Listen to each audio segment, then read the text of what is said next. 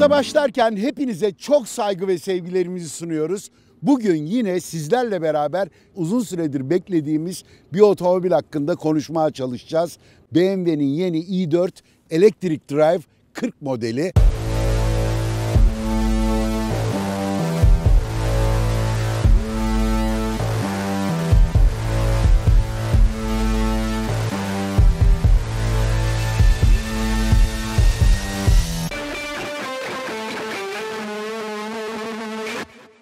BMW markası için fevkalade önemli bir model. %100 elektrikli, sıfır emisyon seviyesinde bir otomobil. BMW'nin elektrikli otomobillerle emisyon düşümüyle ilgili çok e, agresif faaliyet planının olduğunu görüyoruz. Mesela birkaç e, rakamla size bunu ifade etmeye çalışayım. 2023 yılında yani bu yılın sonuna kadar toplam imalat sayısının %15'inin tamamen elektrikli otomobillerden e, oluşmasını hedefliyor. E, geçtiğimiz sene rakamlara bakıyorum 2,5 milyon e, civarında bir otomobil imalatı var BMW'nin global olarak 400 bin otomobilin bu sene içerisinde %100 elektrikli olacağını görüyorsunuz. 2030 yılına kadar 10 milyon adet %100 elektrikli otomobil üretme ürünlerindeki karbondioksit miktarını %40 oranında azaltma hedefi var. Söylediğimiz hedeflere ulaşabilmek için bundan sonra da BMW'nin %100 elektrikli birçok otomobilini göreceğiz. İşte onun için önemli örneklerden bir tanesi de bence i4. Ayrıca bir önemi daha sizlerle beraber birkaç tane BMW'nin %100 elektrikli otomobilini konuşma fırsatı bulmuştuk. 4 serisi ülkemizde çok iyi tanınır. İşte onun bir yerde elektriklisi gibi düşünebiliriz. İlk defa alçak SUV olmayan sport kupe tasarımına sahip olan %100 elektrikli bir otomobili sizlerle beraber konuşma imkanı bulacağız.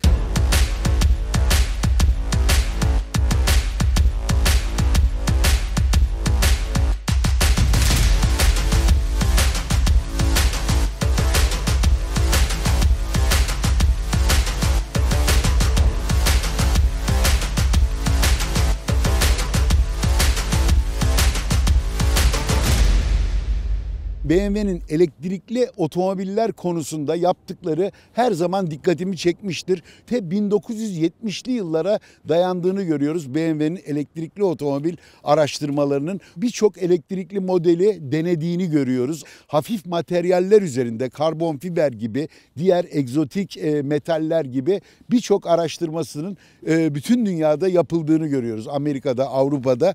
Tüm bunların sonucunda 2013 yılına geldiğimizde esas esasında otomobil meraklarının iyi hatırlayacağı çok iddialı bir %100 elektrikli otomobil e, piyasaya çıkartmıştı BMW markası. O da i3 o dönemde kısaca sizlerle değerlendirme imkanı da bulmuştuk. E, alüminyum bir e, platform düşünün. Üzerinde otomobilin bütün yürüyen aksamı var ve üzerine kabin geliyordu ve kabin komple karbon fiberden yapılıyordu. Bunu gerçekten çok takdir etmiştim. Çünkü karbon fiber materyal olarak yani tasarım olarak ve imalat olarak fevkalade zordur.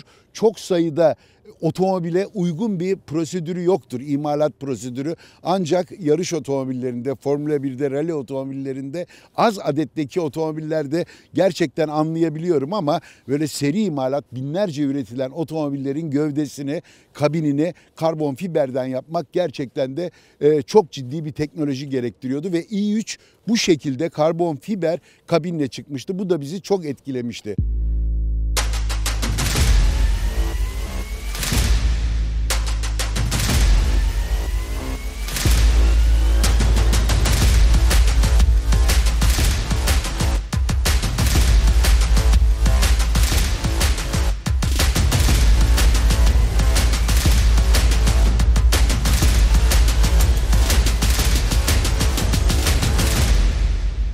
2013 yılında hemen hemen aynı zamanlarda i8 diye şarj edilebilir hibrit modeli de BMW'nin piyasaya çıktı. Biliyorsunuz meraklı arkadaşlarımız iyi hatırlayacaktır.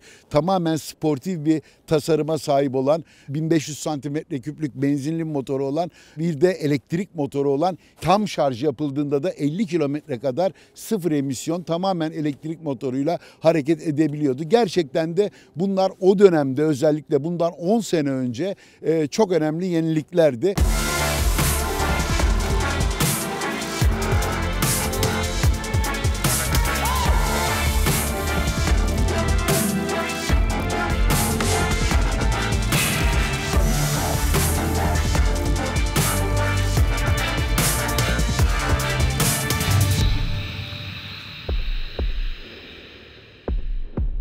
Daha sonraki dönemde sizlerle zaten kısaca değerlendirme imkanı bulduk.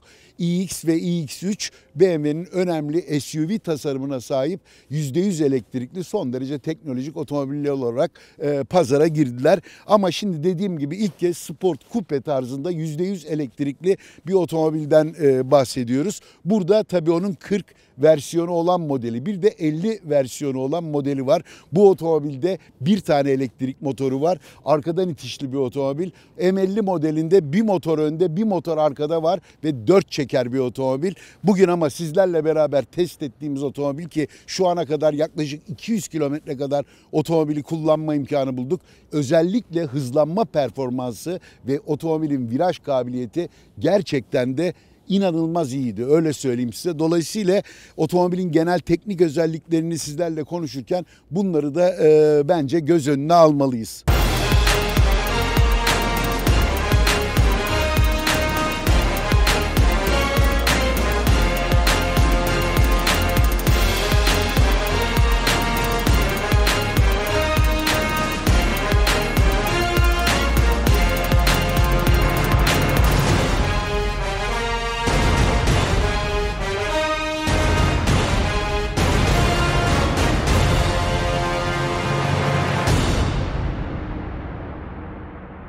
İsterseniz biraz tasarımından bahsedelim. BMW'nin 4 serisiyle boyutlar birbirine çok çok yakın. Hemen hemen aynı diyebiliriz.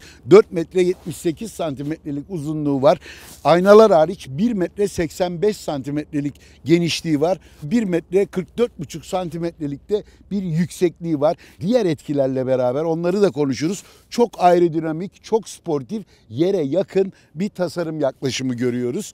Aks mesafesi de 2 metre 86 santimetre, 4 metre 78 boya göre uzun bir aks mesafesine sahip olduğunu söyleyebiliriz uzun bir kaput olduğunu, eğimli bir ön cam olduğunu ve tavanın eğiminin azalarak arka bagaja kadar devam ettiğini söylememiz lazım.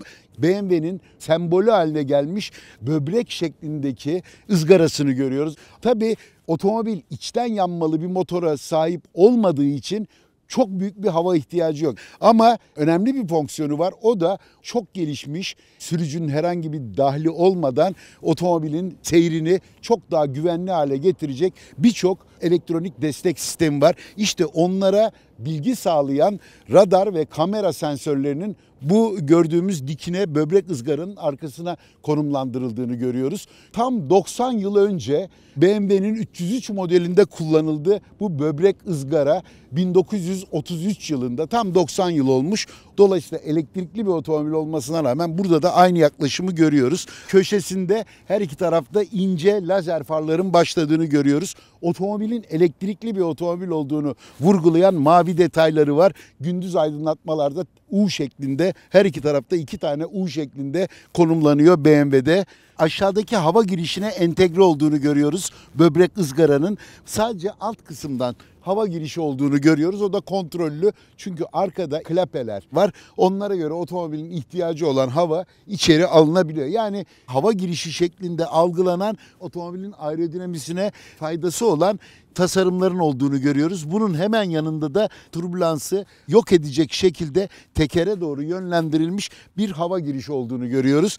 Hemen tekerleğin arka tarafında, ön tekerin arka tarafında da çıkışı.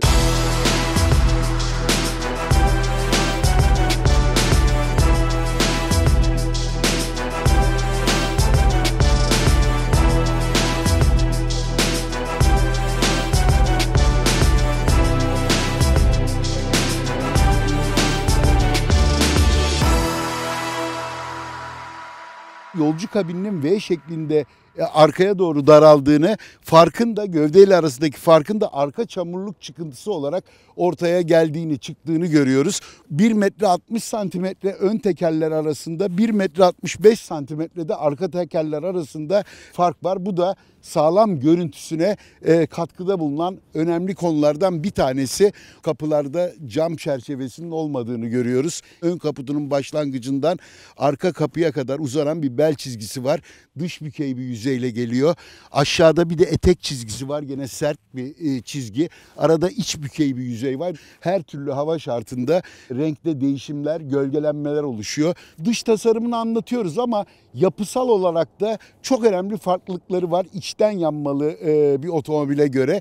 i4'te BMW'nin 5. jenerasyon elektrikli güç ünitesi var. Ana e, parçaları sistemin bataryası, elektrik motoru, güç elektronik sistemi bu sistemlerin çok gelişmiş olduğunu görüyoruz. Batarya yalnız tabanında sadece 11 santimetre kalınlıkta yapılmış. Dolayısıyla otomobilin iç hacminde en ufak bir e, farklılık getirmiyor. Başta söylediğim gibi otomobilin harika bir viraj kabiliyeti var. Bence ağırlık merkezinin yere yakın olmasının buraya çok büyük bir katkısı var. Ayrıca güç ünitesi tamamen modüler hale bir paket haline getirilmiş. Motor, elektronik üniteleri ve e, çok basit olan transmisyonu. Çünkü bu otomobilde bizim anladığımız, bildiğimiz şekilde bir vites kutusu yok. Sadece elektrik motorunun çok yüksek tork olmasından dolayı o kadar tork değiştirmeye gerek yok ve sadece e, çıkan gücü ve torku tekerlere ulaştıracak bir dişli sistemi var. İşte onların tümü birden arka tarafa bir paket olarak yerleştirilmişti. Modüler diyorum çünkü ona benzer bir paketi ön tarafa yerleştirdiğinizde otomobil 4 çeker oluyor. 2 elektrik motoruna sahip oluyor gibi. Yani modüler olmasının ileride imal edilecek olan diğer otomobillere de çok büyük bir katkısı olacağını düşünüyorum. 12,5 santimetre de otomobilin yerden yüksekliği alt tarafında hava geçişinde türbülans yaratacak herhangi bir engel yok. Dolayısıyla otomobilin arka tarafına kadar çok düzgün bir hava akışı söz konusu. Arka tarafta aerodinamiden bahsedelim dememin nedeni de burada iki tane gördüğümüz konu var. Bir tanesi arka spoiler yine aerodinami açısından çok önemli. Bir tanesi de bu arkada görmüş olduğunuz difüzör. Otomobil içten yanmalı bir motora sahip olmadığı için egzoz yok. Dolayısıyla burada tamamen aerodinami e, düşünülerek oluşturulmuş, tasarlanmış bir arka difüzör var. Arka stoplar kaputun üstünde ve gövdenin üstünde iki parça ve L şeklinde çok etkileyici bir tasarım var yeni i4'ün.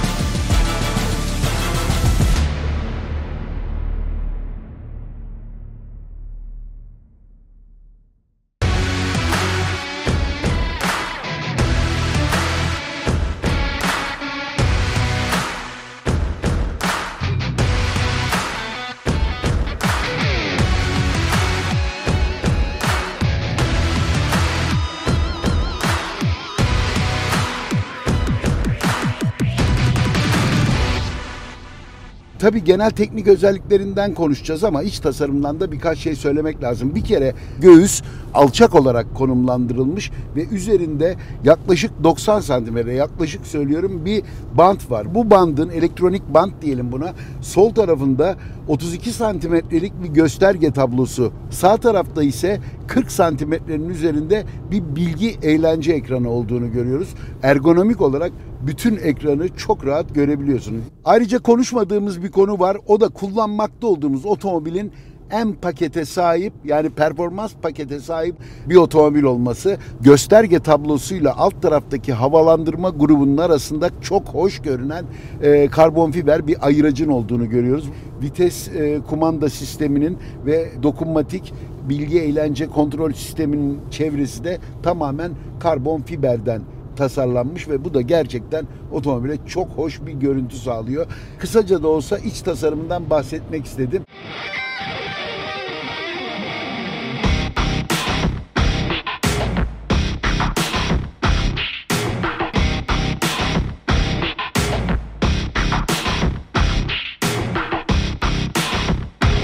Şimdi isterseniz otomobilin genel teknik özelliklerinden bahsedelim. %100 elektrikli, sıfır emisyon seviyesinde bir otomobil. Elektrik motoru arka aksın üzerinde bulunuyor ve 5. nesil elektrikli güç ünitesi.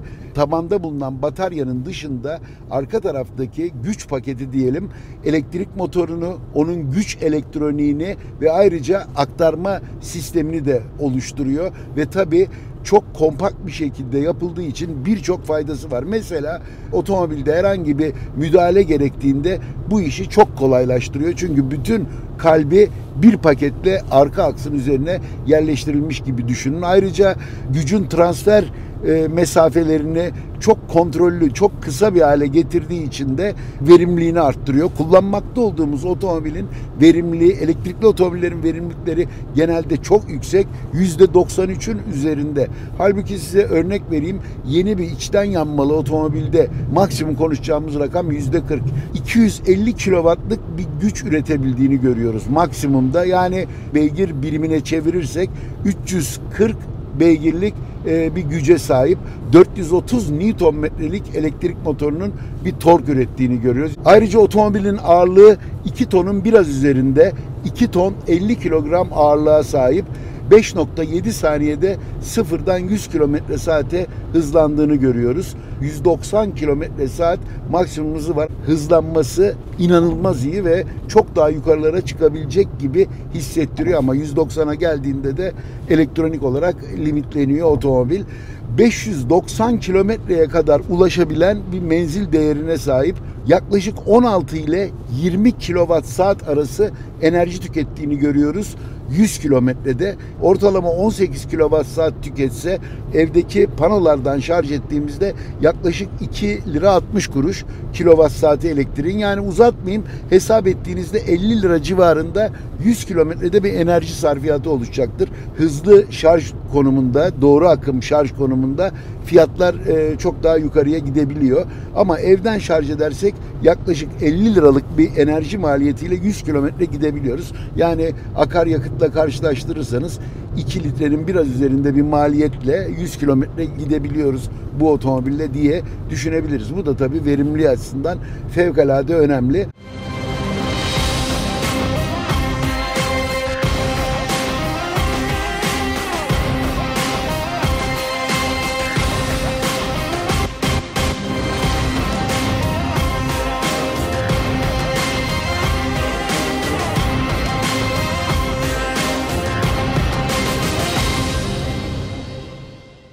Beşinci jenerasyon elektrik güç ünitesinin bataryasından da bahsetmek lazım. Otomobilin tabanında bulunan ve sadece 11 santimetrelik kalınlığa sahip olan bir bataryadan bahsediyoruz. Kapasitesi 83.9 kWh saat. Bu tabi maksimumu nominal yani kullanılabilecek 80.7 kWh saat.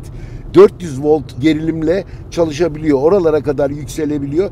Bunun nedeni de elektrik motorundan fazla güç elde edebilmek. Çünkü elektrikte güç akımla e, voltajın, gerilimin çarpımından oluşuyor akımı çok arttıramıyorlar. Yaklaşık 210 amper civarında, amper saat civarında bir akım değeri var. Voltajı arttırıyorlar çünkü tesisatın kablo kesitlerinin çok artmamasını sağlıyor. Bu yani dolayısıyla ekstra bir ağırlık getirmemesini sağlıyor. Ayrıca otomobilde çok önemli özellikler var. Mesela bir tanesi enerji kazanım sistemi. Bunun birkaç tane çeşidi var. Normalde gazdan ayağınızı çektiğinizde veya frene bastığınızda ki frene bastığınızda maksimum enerjiyi kazanıyorsunuz. Otomobildeki elektrik motoru hemen jeneratör gibi çalışarak e, bataryayı doldurmaya başlıyor. Bu da size ekstra menzil kazandırıyor ve bu sistem çok iyi çalışıyor diyebilirim. 100 kW'ın üzerinde enerji kazanımı söz konusu. Önemli bir özelliği de adaptif e, şekilde otobanda yol alırken kendi kendine gazı kestiği zaman veya frenleme yaptığı zaman da enerji geri kazanımına devam ediyor. Tabi buna ek olarak otomobil internete bağlı bir otomobil. Seyir halindeyken viraja geldiğinde otomatik olarak yavaşlarken bile enerji kazanımına devam ediyor. Adaptif bir enerji geri kazanım sistemi var otomobilde.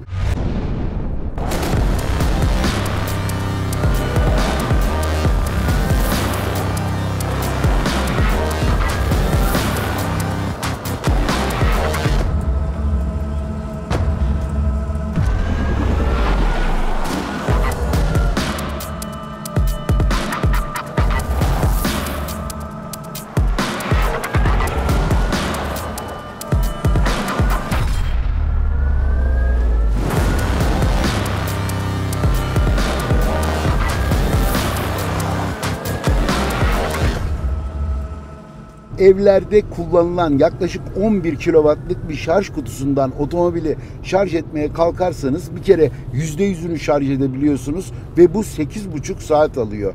Ama doğru akımdan hızlı şarjı kullanırsanız otomobilin alabilme kapasitesi 200 kW. 200 kW'lık bir kaynaktan şarj ettiğimizde de yarım saatte %80'e kadar şarj edebiliyorsunuz. Söylenmesi gereken önemli özelliklerinden bir tanesi. Tabi bu arada programımızın da sonuna gelmiş bulunuyoruz.